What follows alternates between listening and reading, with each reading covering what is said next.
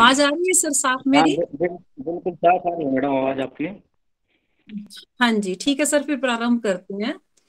हाँ जी जी हाँ। तो टाटिया विश्वविद्यालय द्वारा आयोजित देश की आज़ादी में जाट समाज योगदान व्याख्यान में आप सबका हिंदी विभाग की तरफ़ से तहे दिल से स्वागत है। तो आज के हमारे प्रमुख वक्ता हैं मोहनलाल जाट जी। सबसे पहले नमस्कार सर आपको। नमस्कार। मैम हाँ जी, आपका संक्षिप्त परिचय देना चाहूँगी। आप राजकीय कन्या, स्नातकोत्तर महाविद्यालय, सेक्टर 11 चंडीगढ़ में सहायक आचार्य एवं हिंदी विभागाध्यक्ष के रूप में सेवाएँ दे रहे हैं। आपके प्रकाशन का विवरण इस प्रकार है। आधुनिक काव्य, व्याख्या एवं समीक्षा, जिसका प्रकाशन वर्ष है 2009 फिर है स्वातंत्र्योत्तर हिंदी नाटकों में राष्ट्रीय चेतना शोध प्रबंध है, जिसका प्रकाशन वर्ष है 2009 इसके पश्चात रीति काव्य, व्याख्या एवं समीक्षा, जिसका प्रकाशन वर्ष है 2012 एवं 2021 इसके अतिरिक्त शोध, लेख एवं आलेख आपके कई पत्र पत्रिकाओं में भी प्रकाशित हुए हैं। राष्ट्रीय एवं अंतरराष्ट्रीय सेमिनार, वेबिनार में शोध पत्र प्रस्तुति आपकी कुल है सात, एवं प्रतिभागिता है तेईस में आपने की है। ये संक्षिप्त विवरण डॉक्टर मोहनलाल जाट जी का है। इसके पश्चात हम व्याख्यान के अगले चरण की ओर आगे बढ़ते हैं। धन्यवाद सर। धन्यवाद मैडम। नमस्कार सभी को।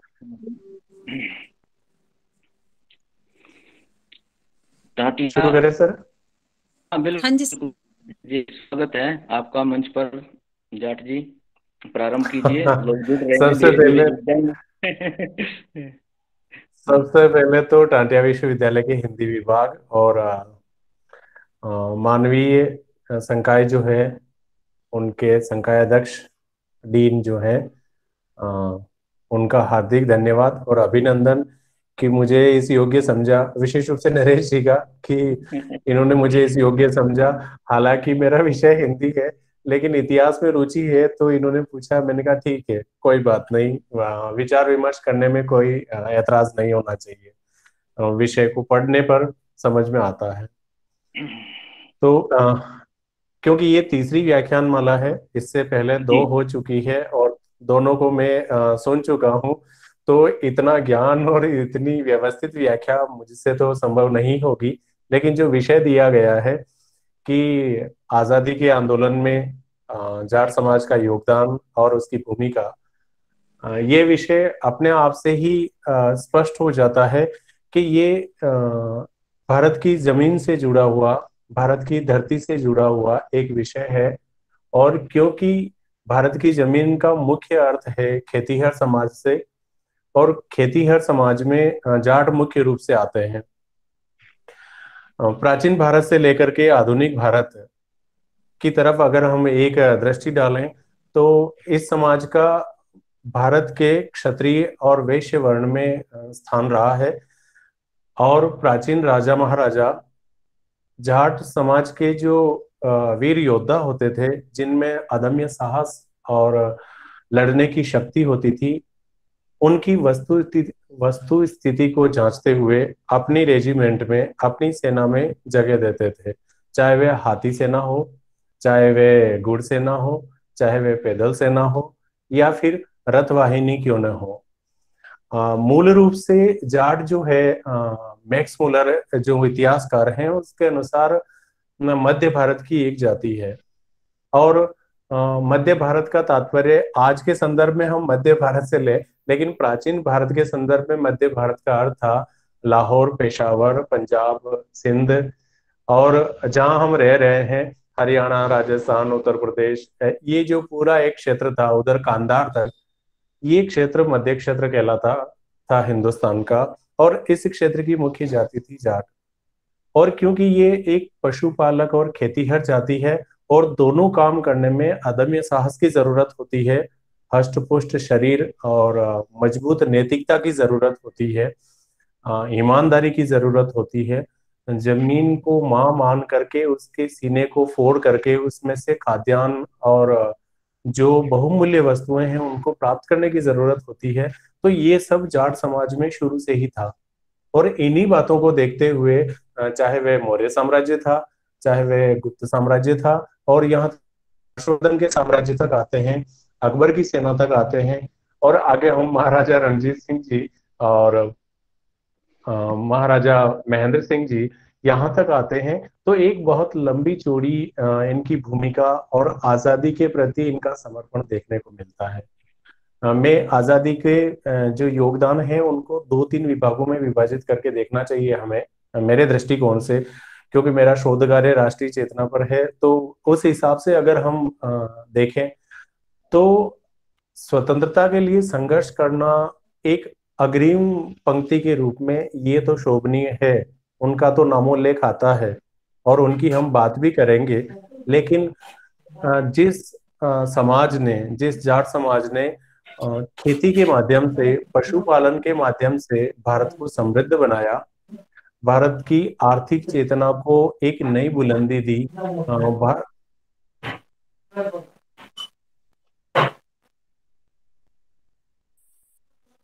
भारत के पशुपालन में विशिष्ट योगदान दिया और प्रकृति को और धरती को अपनी माँ माना और उसकी पूजा की। तो राष्ट्रीय चेतना के ये भी अलग सुर हैं, अलग स्वर हैं, जिसे हम सोपान के रूप में देख सकते हैं। और स्वतंत्रता आंदोलन के अलावा इन लोगों ने जो विशिष्ट रूप से इन सब की सेवा करते हुए भारत देश को समृद्ध बनाया है, सामाजिक चेतना ज़ाहिर की है, उसकी बात भी हम करते हैं। जाट मुख्य रूप से पेशावर से लेकर के अभी वर्तमान में उत्तर प्रदेश, जिसमें पश्चिमी और पूर्वी पंजाब आ जाता है, हरियाणा विशिष्ट रूप से आता है राजस्थान का भूभाग, गुजरात, मध्य प्रदेश और पश्चिमी उत्तर प्रदेश, उत्तराखंड, हिमाचल प्रदेश, दिल्ली। ये मुख्य रूप से जाट बाहुल्य क्षेत्र है और इस जाट बाहुल्य क्षेत्र में तीन प्रकार की जाटों की जो स्थिति है वो देखने को मिलती है। एक तो है जाट समाज, दूसरा है सिख जाट समाज और तीसरा है मुस्लिम जाट समाज, जो पश्चिमी पंजाब और सिंध में, पेशावर में, रावलपिंडी में विशेष रूप से विद्यमान है और उनके अगर नेताओं के नाम लिए जाएँ तो आसिफ अली जरदारी और हिना रब्बानी खान। ये आज भी नेता है और इनके जो पुरखे थे, उन्होंने आज़ादी के आंदोलन में योगदान दिया ही था। क्योंकि ये पेशेवर जाति है और साहसी जाति है।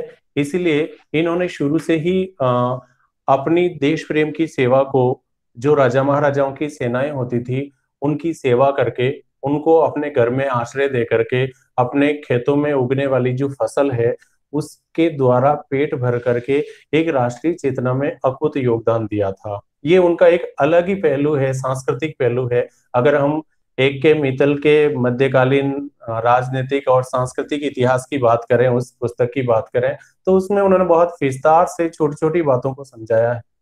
अगर वी डी महाजन का प्राचीन भारत का इतिहास, मध्यकालीन भारत का इतिहास और आधुनिक भारत का इतिहास देखें तो उसमें भी ये बातें आई है और मैक्स मूलर ने विशेष रूप से उत्तर भारत की जो तीन श्रेष्ठ जातियाँ हैं, राजपूत जाट और, गुर्जर इनको विशेष रूप से ब्राह्मणों के साथ समकक्ष रखा है और एक वीर जाति के रूप में उन्होंने इन्हें इंगित किया है।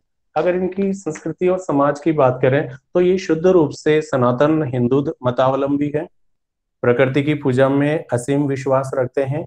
राम और कृष्ण के अनुयायी हैं, लेकिन गुरु नानक देव जी ने जब सिख धर्म की स्थापना की और सिख एक अलग पंथ चला तो पंजाब में रहने वाले अधिकांश जाट सिख जो थे, उन्होंने सिख धर्म अपना लिया था और उसके अनुसार अपना स्वधर्म निभाते हुए स्वदेश की रक्षा के लिए योगदान दिया। जाट मूलतः धार्मिक स्वभाव के व्यक्ति होते हैं, बहुत शांत स्वभाव के होते हैं, लेकिन इनमें एक दृढ़ संकल्प और दृढ़ प्रतिज्ञा की भावना जन्मजात पाई जाती है। और यही कारण है कि इनमें अदम्य साहस भरा रहता है। इसी बात को ध्यान में रखते हुए जब भारत में सत्रहवीं और अठारहवीं शताब्दी की शुरुआत हुई और मुगल साम्राज्य का लगभग पतन हो चुका था 1707 में जब औरंगज़ेब की मृत्यु होती है तो मुगल साम्राज्य लगभग पतन के कगार पर होता है। उनके बाद जो उनके उत्तराधिकारी थे, वो मुगल साम्राज्य को अच्छी तरह संभाल नहीं पाए, क्योंकि औरंगज़ेब की धार्मिक कट्टरता और राजनीतिक असहिष्णुता की जो नीति थी, उसने प्रत्येक राजा महाराजा या यूँ कहिए कि छोटे छोटे जो मिसलदार थे छोटे छोटे जो अहदेदार थे, जमींदार थे, उनके मन में विद्रोह की भावना बढ़ ली और यहीं से जाट समाज का स्वतंत्रता के आंदोलन में योगदान रेखांकित करने को मिलता है। हम अगर इतिहास उठाकर देखें तो यहीं से स्थापना के प्रयास होने लगते हैं। विशेष रूप से छोटे छोटे जो जमींदार होते हैं, सूबेदार होते हैं, वो अपने आसपास के गाँवों में जो मुगल साम्राज्य है और जो अंग्रेज़ साम्राज्य ब्रिटिश ईस्ट इंडिया कंपनी के तत्वाधान में कलकत्ता से संचालित हो रहा था, उनकी जो दमनकारी नीतियाँ थी, उनके खिलाफ एकजुट होने का प्रयास करते हैं। और इसी का प्रयास था कि सत्रह में बरेली में जाट रेजिमेंट की स्थापना की गई थी और उसका जो आदर्श वाक्य था वो था संगठन और वीरता। मतलब उसमें ये बताया विशेष रूप से, जहाँ तक मुझे पता है कि चाहे जाट मुस्लिम है, चाहे वो सिख जाट है या विष्णोई जाट है या यहाँ तक कि गुर्जर जाट है, ये इनकी उस समय जो शाखाएँ हुआ करती थी, हम सबको संगठित होकर के देश की सेवा के लिए आगे बढ़ना चाहिए। क्योंकि विशेष रूप से जो अंग्रेज़ भारत में अपना साम्राज्य फैला रहे हैं, वो किसी के नहीं है। और यहीं से जाट समाज में एक नई चेतना, एक नई यूँ कह सकते हैं कि पीढ़ी का शुभारंभ होता है और लोग आपस में भाईचारा और यूँ कह सकते हैं कि समरसता के आधार पर एकजुट होकर के मुगल साम्राज्य के साथ साथ अंग्रेज़ साम्राज्य का विरोध करना शुरू करते हैं। लेकिन उसमें नैतिकता और हमारे जो सामाजिक और सांस्कृतिक मूल्य हैं, इन्हें ये जाति नहीं छोड़ती है। अगर पूरे भारतवर्ष में मध्यकालीन भारतवर्ष से लेकर के आधुनिक भारतवर्ष तक अगर कुछ रियासतों की बात करें तो कुछ राज्य जो राजघरानों के रूप में पनपे थे और जिन्होंने विशेष रूप से राजपूत समाज को चुनौती दी और यही कारण था कि राजस्थान में और मध्य प्रदेश में, गुजरात में राजपूत और जाट समाज आपस में संघर्ष करते रहे और बाद में जाकर के समाज के जो उच्च वर्ण थे, ब्राह्मण और उस समय उनकी मान्यता के अनुसार मैं अपनी बात नहीं कह रहा हूँ। जो अपने आप को मानते थे उच्च, उन्होंने फिर जाट साम्राज्य को क्षत्रिय के रूप में स्वीकार करना शुरू किया।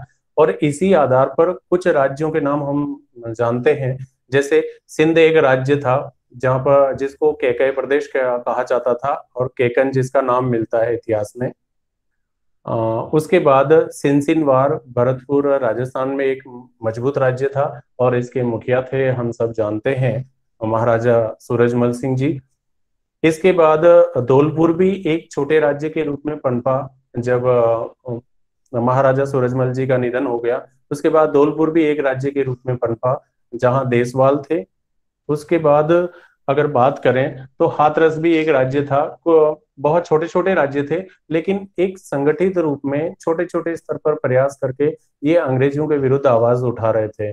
जो शोषण था हिंदुओं का या यूँ कहिए कि भारतीयों का, यहाँ भारतीय शब्द ज़्यादा उपयुक्त रहेगा, हिंदुस्तान शब्द ज़्यादा उपयुक्त रहेगा तो अंग्रेज़ जो भारतीयों का शोषण कर रहे थे, आर्थिक, सांस्कृतिक रूप में, राजनीतिक रूप से चेतना को दबाने का प्रयास कर रहे थे, वहाँ इन सबने चाहे वो उत्तर प्रदेश हो, चाहे मध्य प्रदेश हो, हरियाणा हो, पंजाब हो, यहाँ जो वल्लभगढ़ रियासतें हैं कपूरतला राज्य है, पटियाला राज्य था, ठीक है, जिंद राज्य था, भरतपुर और धौलपुर तो था ही, इधर सिंध राज्य भी था, पेशावर था, इन सभी ने मिल करके इनके विरुद्ध आवाज़ बुलंद की। और ये बताया कि हाँ हमें वास्तव में अगर शांति है, हमारी सुरक्षा है तो हम शांति के पक्षधर हैं, और अगर नहीं है तो हम अपने देश और हमारी संस्कृति को बचाने के लिए सत्ता के विरुद्ध भी जा सकते हैं।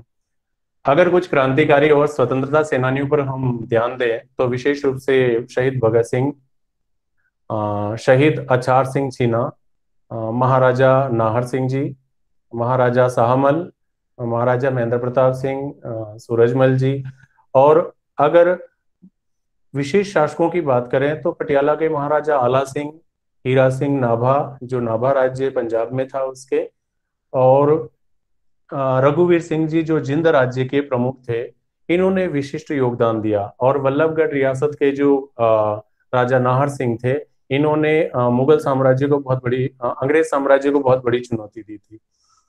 ये छोटे छोटे राज्य ज़रूर हैं जो हमें विचलित कर सकते हैं कि फिर जाट जब आपस में ही संगठित नहीं थे छोटे छोटे राज्यों में विभाजित थे तो फिर उनका क्या योगदान हो सकता है?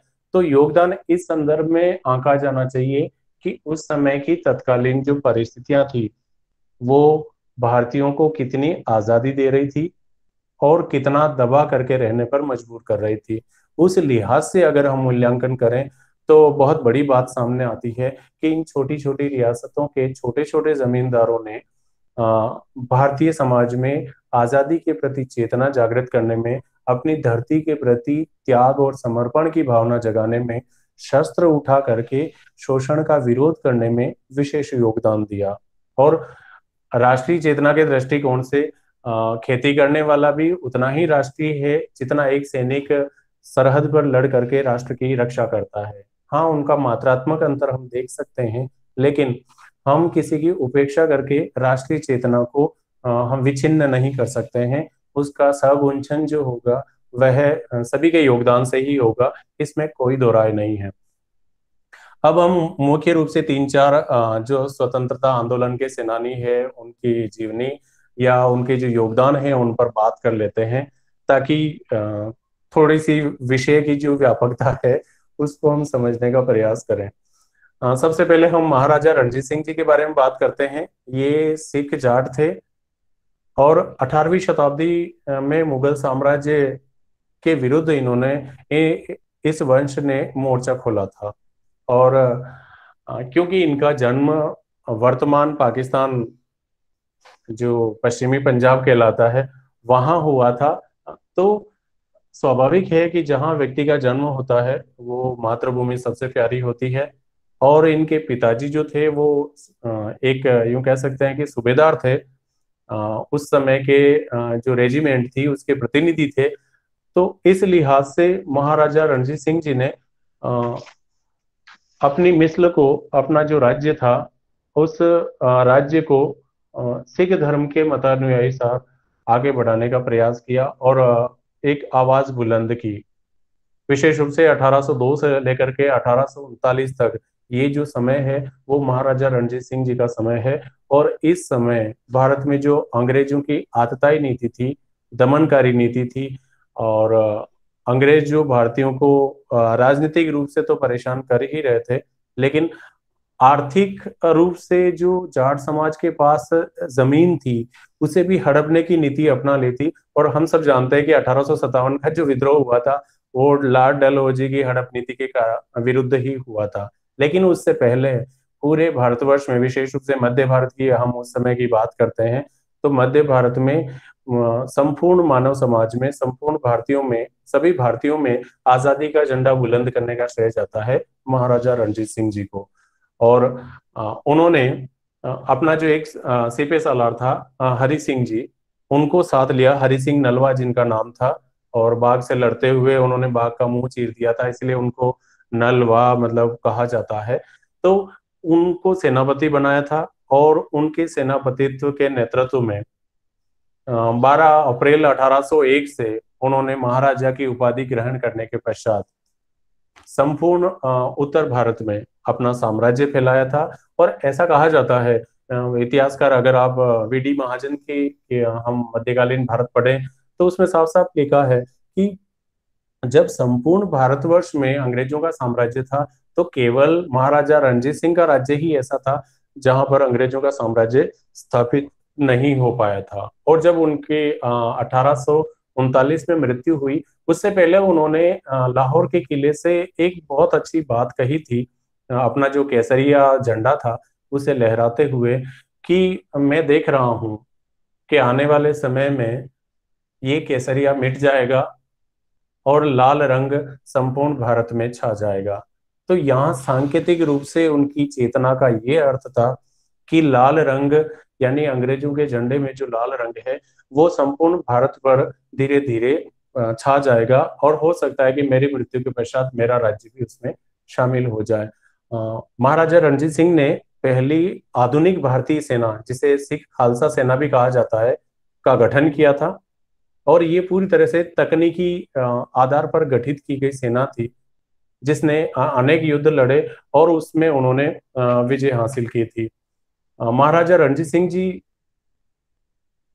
के बारे में ऐसा कहा जाता है कि वो बहुत ही उदार दिल के थे नाटाकत था उनका और जब वो युद्ध लड़ रहे थे तो एक आँख उनकी चली गई थी और दिक्कत हुई थी उनको, लेकिन उन्होंने चिलियान वाला का जो युद्ध हुआ था, उसकी पृष्ठभूमि के रूप में अठारह सौ उनतालीस में जब अंतिम शहीद के रूप में वो गिने जाने लगे, उससे पहले ही भारत में एक ऐसी पृष्ठभूमि तैयार कर दी थी कि अंग्रेज़ों के खिलाफ जो बिगुल बजने वाला था, उसको मजबूती और आधार प्रदान कर दिया। उनकी सेना में इतनी वतन परस्ती थी, इतना देश प्रेम था कि लाहौर के किले से लेकर के दिल्ली के किले तक फतेह करने का जो जज्बा था, उधर पेशावर से लेकर के सिंध तक, ये जो, और जम्मू कश्मीर तक, हिमाचल तक उनका साम्राज्य था तो ये जो उनका जज्बा था, ये जज्बा वाकई तारीफ़ काबिल है। और उन्होंने जजिया कर जो था, उस समय सिखों से वसूल किया जाता था।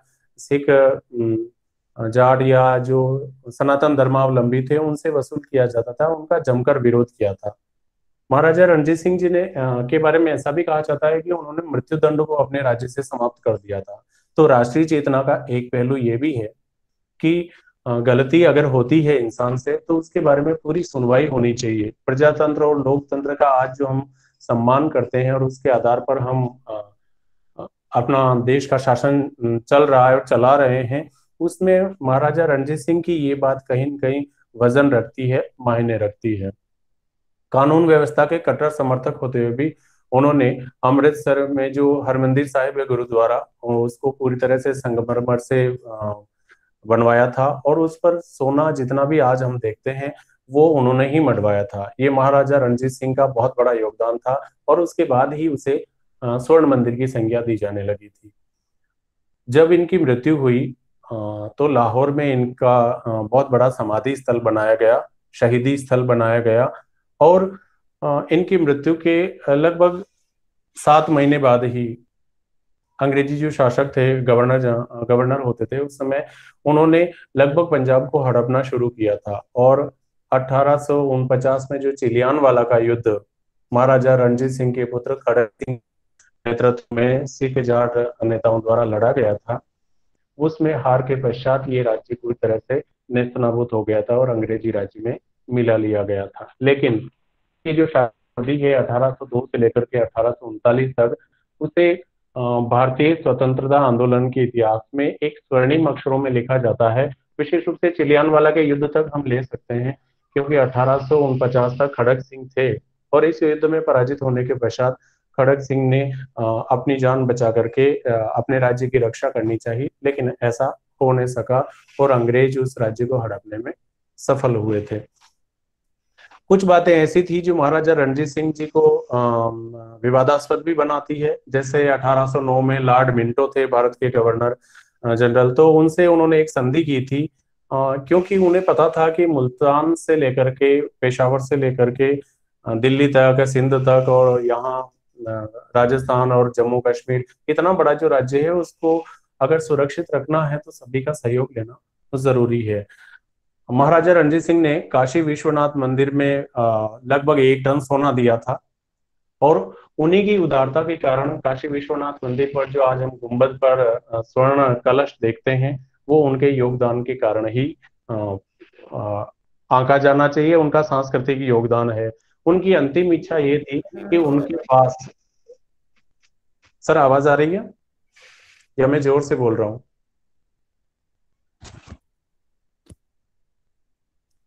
बिल्कुल सही आ रही है सर आपकी आवाज़। ठीक ठीक करमवीर जी ठीक। तो महाराजा रणजीत सिंह जी की अंतिम इच्छा ज़रूर पूरी नहीं हो सकी क्योंकि उन्होंने जो कोहिनूर हीरा प्राप्त किया था आ, उस कोहिनूर हीरे का प्रयोग वो भगवान जगन्नाथ की मूर्ति की शोभा में करना चाहते थे लेकिन आ, समय से पहले ही शहीद हो जाने के कारण वो उनकी अंतिम इच्छा पूरी न हो सकी।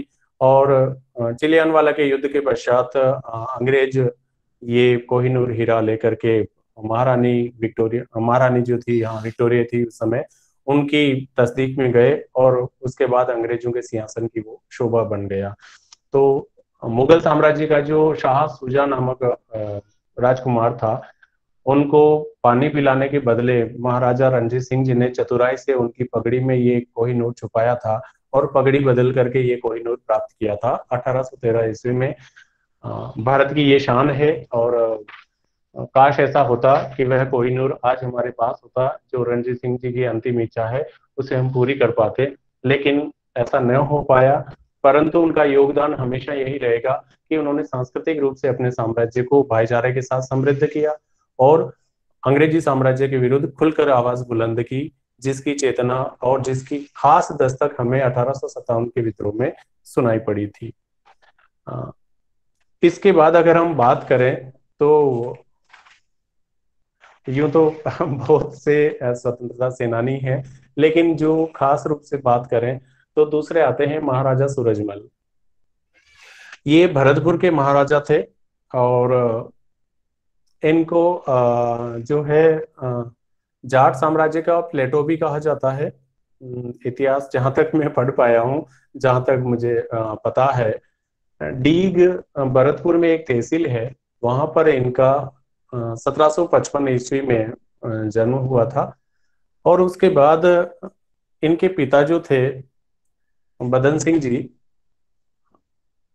वो कुछ अस्वस्थ रहते थे और इन पर ज़्यादा भरोसा करते थे।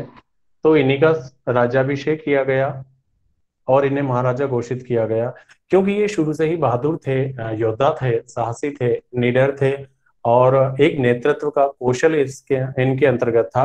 तो इन्होंने आस पड़ोस के जो ग्वालियर राजघराना है, जयपुर राजघराना है, दक्षिण में अगर हम जाते हैं तो होलकर और जो मराठा साम्राज्य आ जाता है, इंदौर से लेकर के बड़ौदा और महाराष्ट्र तक, इन सभी से समरसता स्थापित करने की कोशिश की। यहाँ तक कि मुगल साम्राज्य जो था, उससे भी इन्होंने समरसता स्थापित करने की कोशिश की, क्योंकि इनका मानना था कि जब मनुष्य स्थायी नहीं है तो फिर सभी से दुश्मन बन करके हम अपने राज्य को सुरक्षित नहीं रख सकते हैं और हम अपनी बात को अच्छी तरह से किसी के सामने प्रस्तुत नहीं हो पाएँगे और हम ही आपस में लड़ेंगे तो फिर जो हमारा शोषण करेगा, उसके खिलाफ आवाज़ बुलंद नहीं कर पाएँगे।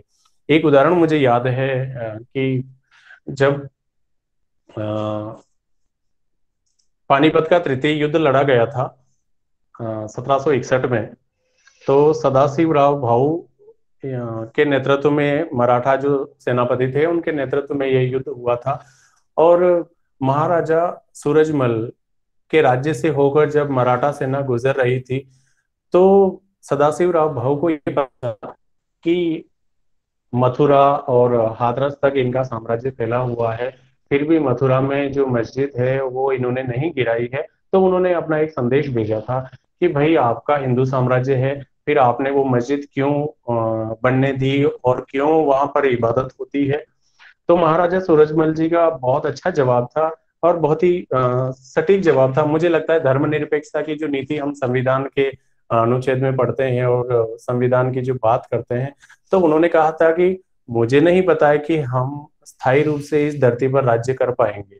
अगर ये पता चल जाए कि स्थायी रूप से धरती पर मेरा ही राज्य रहेगा तो मथुरा से मस्जिद को हटवा दूँगा।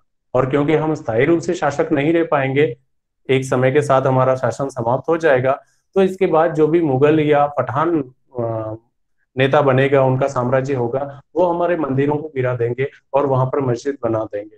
तो आपसी विवाद में पड़ने से बेहतर है कि हम समरसता से मिलकर चले। ये इनकी बहुत बड़ी बात है। आ, मैंने एक दो सेमिनार में और भी भाग लिया था इतिहास की।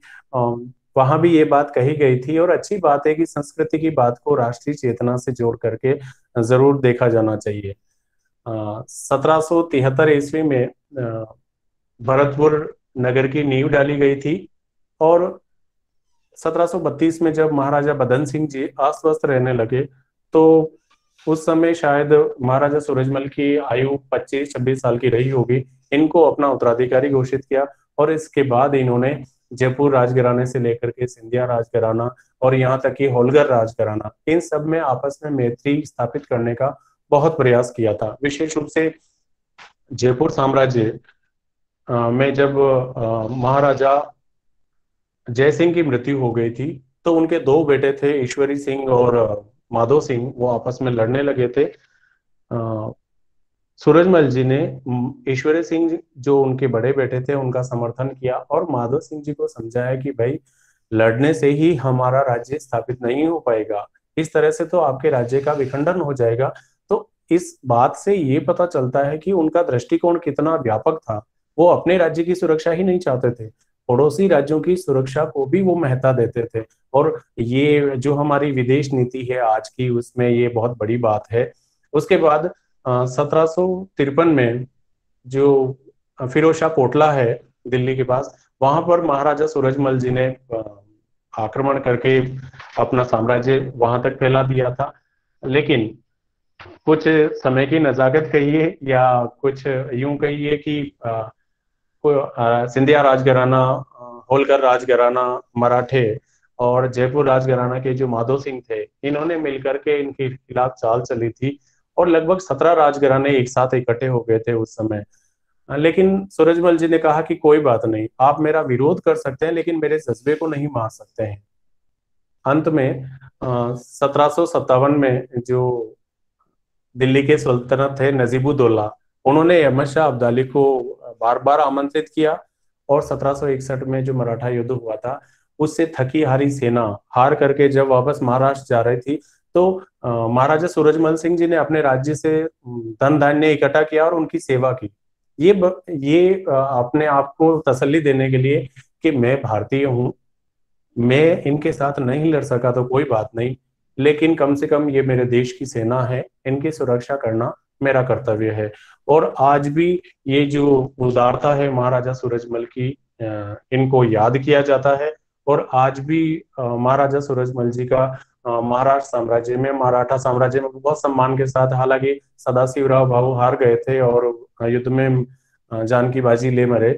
लेकिन आज भी मराठा साम्राज्य में इनका उतना ही सम्मान है जितना वास्तव में एक राजपूत शासक का होता है।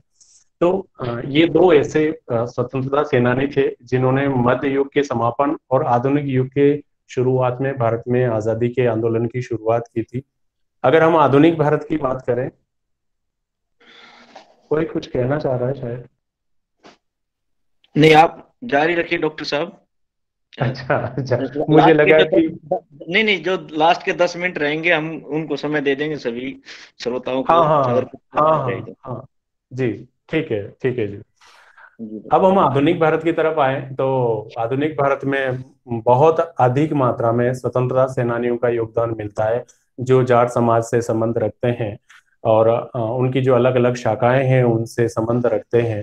उनमें जो सर्वप्रथम हम शहीद आज़म के नाम से जिन्हें जानते हैं शहीद भगत सिंह जी उनकी बात करते हैं। उनके बारे में इतिहास के आप सभी विद्यार्थी रहे होंगे सब जानते हैं बेहतर तरीके से जानते हैं। मैं बस कुछ एक दो जो घटनाएँ हैं। भगत सिंह जी का जो जेल जीवन था और दो साल में उन्होंने जो मानसिक एक तरह से कहिए यंत्रणा झेली थी और राष्ट्रवादी लेनिन की जीवनी पड़ी थी। उसके बारे में थोड़ी सी बात करूँगा। बाकी आप सब जानते हैं कि उन्होंने नौजवान भारत सभा की स्थापना की थी और जलियांवाला बाग हत्याकांड हुआ था तो उसके विरोध में वो बहुत यूँ कह सकते हैं आक्रोशित हो गए थे और गांधी जी तक के विरोध में चले गए थे। लेकिन जब उन्हें पता चला कि नहीं नहीं, ऐसा नहीं है गांधी जी ने वास्तव में आज़ादी के लिए भारतीयों को संगठित करने का काम किया और अभी भी कर रहे हैं तो फिर से उनके अनुयायी बन करके उनके आंदोलन में, असहयोग आंदोलन में भाग लेने लगे। लेकिन चोरा चोरी कांड के बाद जब ये आंदोलन स्थगित हो गया तो शहीद आज़म भगत सिंह कुछ अलग करना चाहते थे। उन्हें इस तरह से धीरे धीरे आज़ादी हासिल करना शायद उनके विचारों की बात नहीं थी, क्योंकि वो शुरू से एक तो कार्ल मार्क्स के विचारों से प्रभावित थे और दूसरे ले, दूसरे लेनिन के विचारों से प्रभावित थे। तो उस समय भारत में चंद्रशेखर आज़ाद एक महत्वपूर्ण स्वतंत्रता सेनानी थे। उन्होंने हिंदुस्तान रिपब्लिकन एसोसिएशन की स्थापना कर रखी थी जिसके तहत वो आज़ादी की चिंगारी पूरे भारतवर्ष में फैला रहे थे। भगत सिंह जी ने एक अच्छा काम ये किया कि चंद्रशेखर आज़ाद से हाथ मिलाया, क्योंकि वो उनके विचारों के थे। और उनके सहयोग से उन्होंने अपने जो नौजवान भारत सभा जो संगठन था, उसको हिंदुस्तान रिपब्लिकन एसोसिएशन के साथ मिला लिया और फिर हिंदुस्तान सोशलिस्ट रिपब्लिकन एसोसिएशन की स्थापना की, जिसका उद्देश्य था कि भारत की आज़ादी में योगदान देने वाले ऐसा, ऐसे युवाओं को तैयार करना जो अपना तन मन ही बलिदान नहीं करते, एक छोटी उम्र में शहीद होकर के समाज के लिए आदर्श बने, एक राष्ट्रीय चेतना का प्रतीक बने।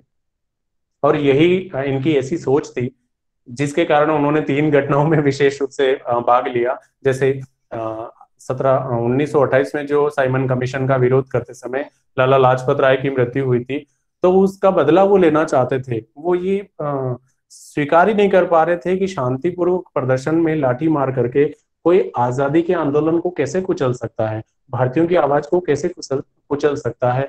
ये तो एक तरह से राजनीतिक और सैनिक अत्याचार हुआ। तो उन्होंने उस समय जो जेपी सांडर्स थे लाहौर के पुलिस अधीक्षक थे उनकी गोली मार करके अपना जो साथी था बटुकेश्वर दत्त, उनके साथ सहयोग से गोली मारी और एक बहुत बड़ा उपदेश, एक बहुत बड़ा संदेश अंग्रेज़ी साम्राज्य को दिया कि देखो, आप हमें अगर लाठी डंडों से मार सकते हैं और पत्थरों से मार सकते हैं तो हम भी गोली चलाना जानते हैं, हमें भी गोली चलाना आता है। हम आधुनिक भारतीय हैं और हम आधुनिक विचारधारा के लोग हैं, हम आपसे दबने वाले नहीं हैं, आप हमारी चेतना को कुचल नहीं सकते।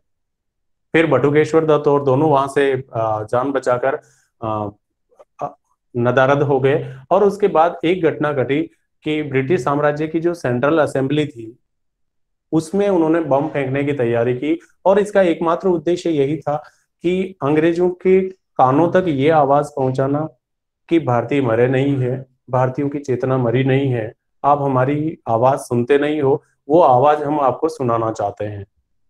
फिर संसद का जो सभागार था 8 अप्रैल उन्नीस सौ उनतीस को अंग्रेज़ सरकार को जगाने के लिए भगत सिंह जी ने सेंट्रल असेंबली में बम फेंका था और उसके बाद उनको लगा कि मैंने जलियांवाला बाग जो हत्याकांड हुआ है, उसका पूरी तरह से बदला ले लिया है। बाकी बहुत सारी बातें हैं उनके बारे में करने के लिए, क्योंकि बहुत कुछ मुझे इतिहास की किताब मिल गई थी और उससे बहुत कुछ मैंने सीखा है। तो एसपी सैंडर्स की हत्या और सेंट्रल असेंबली में बम फेंकना, ये दो ऐसी घटनाएँ थी जिसके कारण भगत सिंह जी ने भारत के युवाओं में, विशेष रूप से हम एक जाति विषय समाज विशेष की बात कर रहे हैं, जाट समाज में एक क्रांतिकारी बदलाव लाया और उनकी सोच को आगे बढ़ाने में महत्वपूर्ण योगदान दिया। उनकी एक बात जो मुझे उन्होंने उसके बाद वो गिरफ़्तार हो गए, ये सब हम जानते हैं और जानबूझ करके गिरफ़्तार हुए थे और उनकी इच्छा थी कि उनको गोली मार करके मार दिया जाए, उनको फांसी न दी जाए।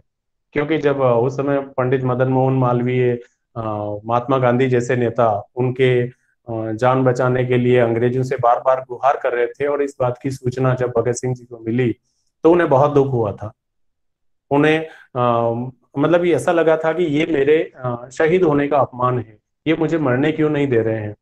तो इसके बाद उन्होंने मैं नास्तिक हूँ एक पत्र लिखा और यह पत्र केरल का एक पत्र है उसमें उनकी शहीद हो जाने के बाद प्रकाशित हुआ था। लेकिन उस पत्र की जो खास बात है वो मैं आ, आप लोगों के सामने दो पंक्तियों के रूप में रखना चाहता हूँ। उन्होंने कहा था कि आ, मुझे गोली से उड़ा दो और जो आवाज़ गोली की गूंजेगी और मेरा जो खून बिखरेगा जितनी जगह छीटे पड़ेंगे, उतने शहीद, उतने वीर भारत से और उत्पन्न होंगे। और ये गोली की आवाज़ भारतीयों के कानों तक पहुंचेगी और शायद भारतीय जाग जाएँ तो हमें आज़ादी बहुत शीघ्र मिल जाएगी।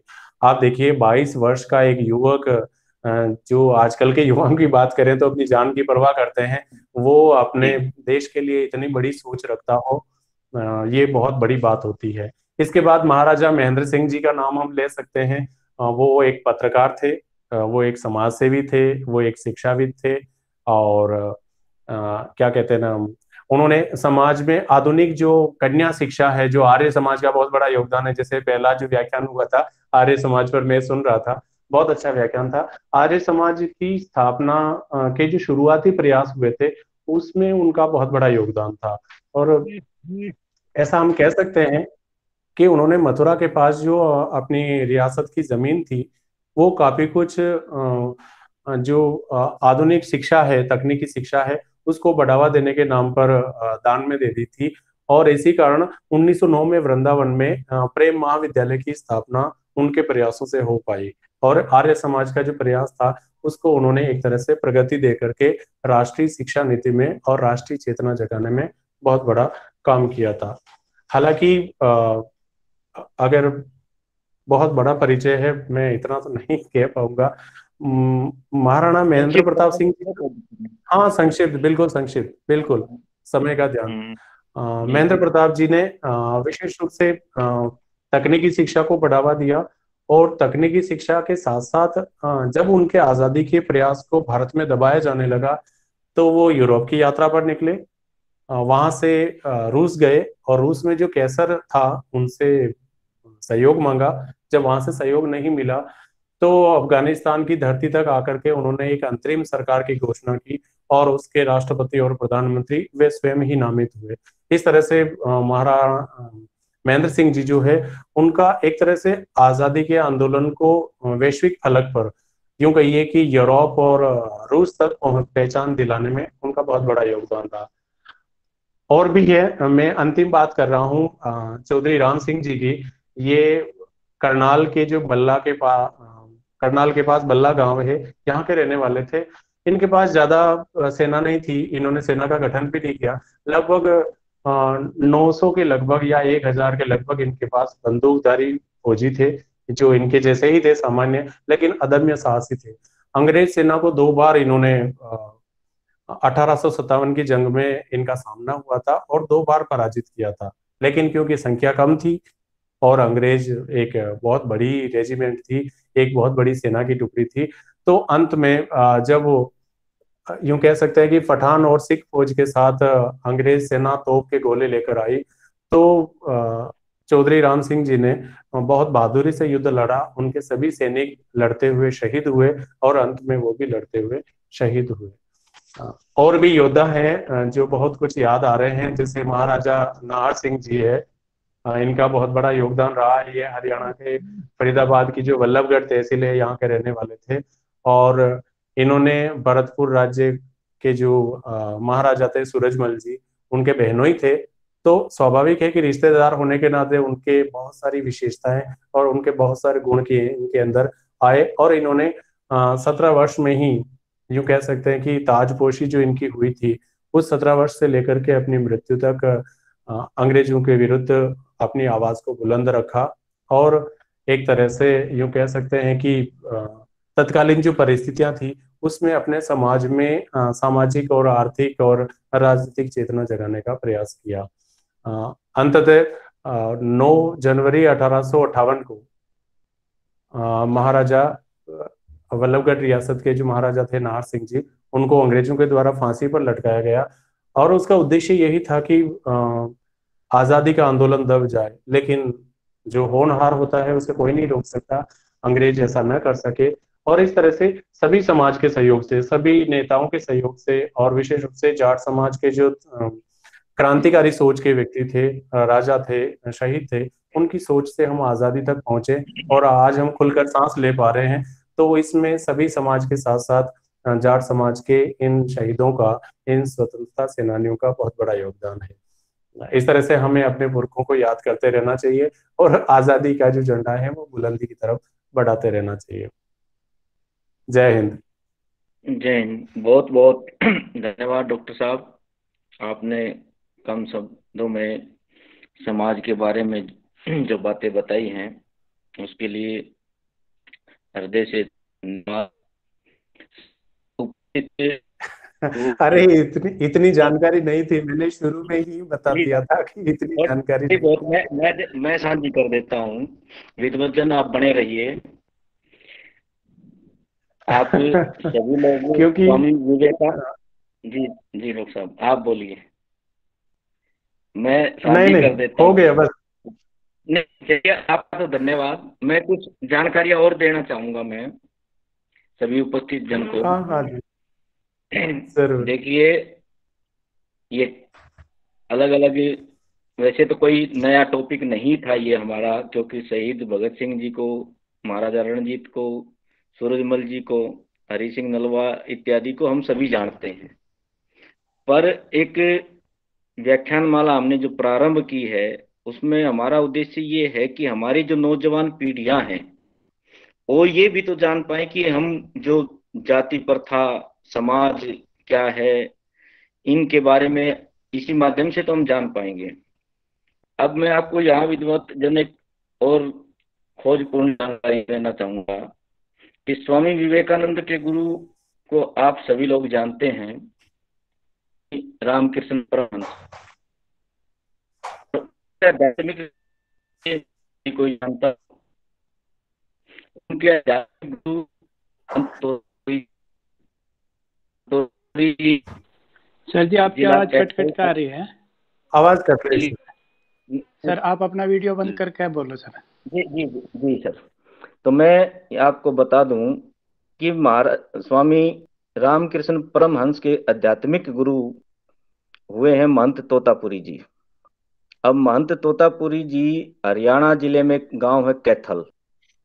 हम्म। उस गाँव में एक सॉरी कैथल जिला है उसमें एक गाँव है बाबा लदाना इसी नाम से फ़ेमस है आप चेक कर सकते हैं।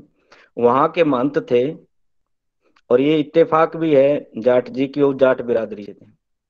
और ये मैं नहीं कह रहा विद्वजन कहिए सोचे कि भाई जाट ने व्याख्यान दिया जाट ही बोल रहा है। इस इस विषय पर कुरुक्षेत्र विश्वविद्यालय में पीएचडी हुआ है कि हरियाणा नहीं हम पढ़ने जाए और ज़रूरी। जी जी। नासा हाँ। में जो पहला वैज्ञानिक गया वो भी हरियाणा से था जाट बिरादरी का था। उसके अतिरिक्त सेठ छाजूराम का मैंने ज़िक्र किया जब आज़ादी के आंदोलन के लिए चंदा इकट्ठा किया जा रहा था नौजवानों द्वारा अब वो मेरे भिवानी ज़िले के ही नज़दीक के गाँव हैं अलगपुरा गाँव है उनका। हिसार के बारे में अगर आप जानते हैं तो जाट कॉलेज उन्होंने ही बनवाया था और भी संस्थाएँ हैं। यहाँ तक कि उन्होंने पक्का मकान बनवाने के लिए भी अंग्रेज़ों से अनुमति ली थी। और आपकी नॉलेज के लिए एज एडवोकेट बता दू विद्वजन की खेतों में हम पक्का मकान आज भी नहीं बना सकते, बगैर परमिशन के, वो अलग विषय कि हम अपने खेतों में बना लेते हैं। तो उन्होंने, जब दान के लिए उनके पास लोग गए तो ये कहा था भी कलकत्ता में पूरे में आप दान मांग लाइए, उसके बाद सबसे लास्ट में मेरे पास आइए। तो जितना चंदा पूरे कलकत्ता के सेठों ने, दानियों ने दिया था, उस व्यक्ति ने अकेले ने उतना दान दिया था। इसलिए आज भी वो सेठ छाजूराम कहलाते हैं। पूरे संसार के एकमात्र ऐसे जाट हैं जो सेठ कहलाते हैं। उसके अतिरिक्त एक और मैं आपको जानकारी दे दूँ। इस संसार में अनेक शहीद हुए हैं। स्त्री, पुरुष, जवान। किंतु एक शहीद गाँव भी है, वो भिवानी जिला के अंदर ही है शहीद गाँव रोणहात। उसमें भी अधिकतर जो बिरादरी थी वो जाट ही थी। अठारह की क्रांति में उन लोगों ने भी बढ़ चढ़ के भाग लिया था। जाट जी मैं बता दूँ कि अंग्रेज़ों ने उस पूरे गाँव की प्रॉपर्टी को नीलाम कर दिया। जितने भी स्त्री अच्छा। पुरुष उनको मिले पकड़ में आए सभी को आंसी एक तहसील है आज भी। वहाँ किले के सामने रोड रोलर के नीचे उनको कुचलवा दिया। आज उस सड़क का नाम लाल सड़क के नाम से है। इतना खून वहाँ हो गया था कि उस सड़क का नाम ही लाल सड़क हो गया। उसमें ये हम्म। एकमात्र ऐसा गाँव है विद्वत जन कि पूरे संसार हम्म। में इंसान तो शहीद हुए किंतु गाँव शहीद एकमात्र वही है। और आज भी उस गाँव में आबादी है। अब आज़ादी के बाद आबाद हो गए लोग। उस गाँव हाँ। की जो प्रॉपर्टी है वो कुछ अन्य लोगों के नाम ही है उस गाँव के नाम कोई प्रॉपर्टी नहीं जैसे हर जगह अपनी पंचायत की ज़मीन या वगैरह वगैरह जो होती है। ये मेरे गाँव सौभाग्य ये है कि वो गाँव मैंने देखा भी है और मेरे गाँव के बिल्कुल साथ लगता गाँव है वो। तो हमारा उद्देश्य नई पॉपुलेशन को नए जो लोग हैं या शोधार्थी हैं अब जैसे एक और उदाहरण दू मैं कि किन्नर विमर्श पे जो कार्य करते हैं या जो जानकार हैं वो किन्नौर से इसका संबंध जोड़ते हैं हम्म। कि भी वहाँ से हैं। मेरे हरियाणा में हिसार जिला के तहत एक गाँव है उसका नाम ही किन्नर है। आज भी किन्नर है आप सर्च करके देख सकते हैं। तो अलग अलग जानकारियाँ व्यक्तियों को मिले इसलिए हमने इस व्याख्यान माला का प्रारंभ किया है। आगे भी हम इसको जारी रखेंगे। दो तीन दिन में अगले व्याख्यान की हम जानकारी देंगे। किसी विद्वत जन को अगर कुछ सवाल करने हैं, डॉक्टर साहब से तो कर सकते हैं, और जिन्होंने अपनी उपस्थिति दर्ज नहीं करवाई है, अपना नाम, संस्था का नाम और मेल आईडी चैट बॉक्स में लिख दें, ताकि आपको सर्टिफिकेट जारी किया जाए। अलग से हम फीडबैक जारी विद्वजन इसलिए नहीं करते, क्योंकि हमारा उद्देश्य सर्टिफिकेट बांटना नहीं है, ज्ञान बांटना है। ज्ञान सथाई है, सर्टिफिकेट सथाई नहीं है। ये आप सभी जानते हैं ठीक है कि सर्टिफिकेट कहीं ना कहीं यूज़ हो जाते हैं किंतु ज्ञान जो है वो सथाई रहता है अब जैसे मैंने बताया दो चार बातें जाट जी ने बताई तो ये चीज़ें स्थायी हैं इसके अतिरिक्त भी अगर आपके पास ऐसी कोई जानकारियाँ हैं हमारे ऐसे शहीद व्यक्ति हैं हाँ। जिनके बारे में बहुत कम